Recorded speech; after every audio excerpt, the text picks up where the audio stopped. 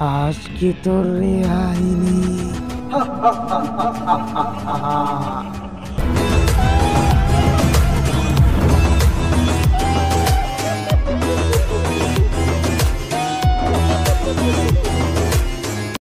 সময়টা ছিল শীতকাল।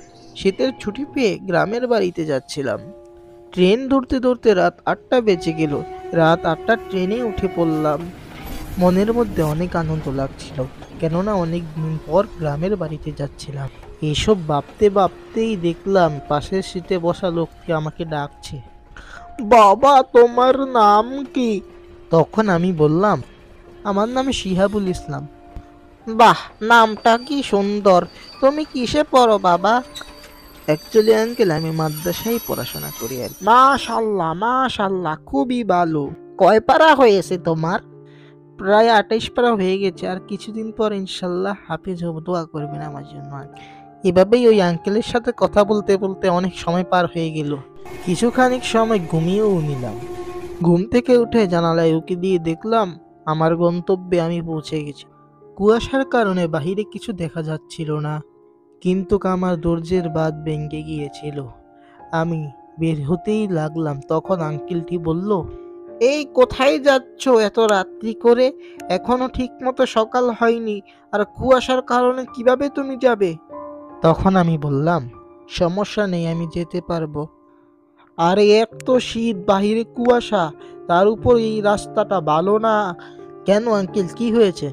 না না, কিছু না কিছু না। তুমি বসো, যেও না। আঙ্কেল, আপনি মনে হয় কিছু লুকাচ্ছেন? বলেন, ওখানে কি আছে?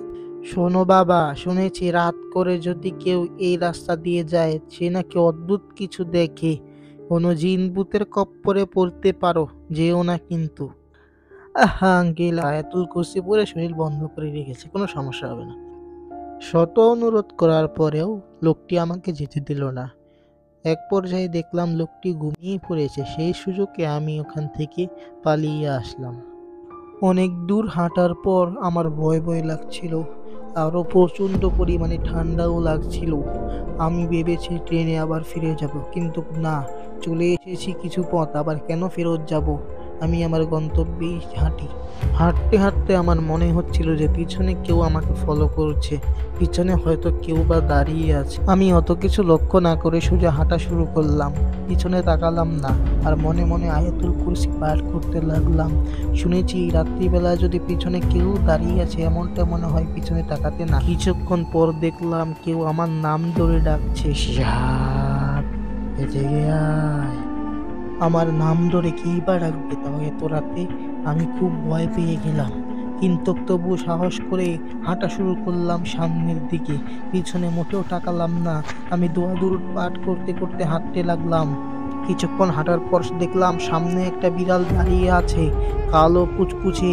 আমার দিকে ভয়ঙ্কর দৃষ্টিতে তাকিয়ে আছে। আমি অত কিছু লক্ষ্য না করে সোজা হাঁটা শুরু করলাম। আমি বুকে সাহস করে দোয়া দূরত করতে করতে হাঁটতে লাগলাম। আবার ভয়ঙ্কর হাসির আওয়াজ শোনা যাচ্ছিল। আমি কোনো কান দিলাম না।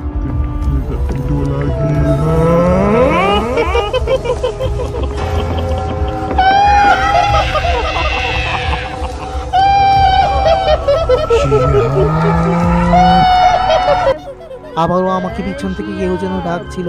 আমি পিছনে তাকালাম না। আমি বুঝতে পারছি যে এগুলো সব জিনের কার সাজে আমি সোজা হাঁটা শুরু করলাম।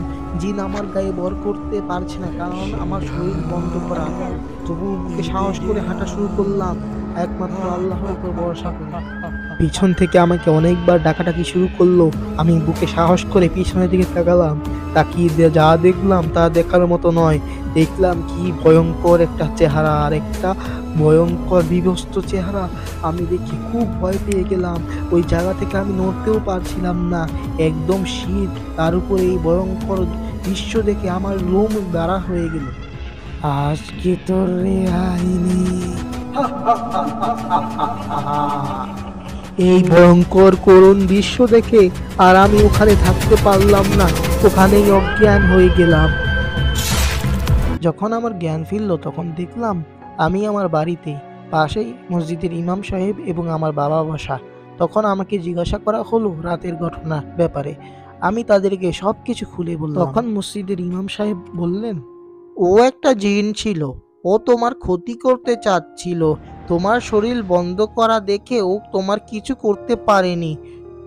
তারপর হুজুর আমাকে কিছু পানি পরা দিল এবং কিছু দোয়া দরুদ পরে আমার গায়ে ফু দিয়ে দিল। কিন্তু কই রাতের ঘটনাটা মনে পড়লেই কেন জানি শরীরটা শিহরে ওঠে।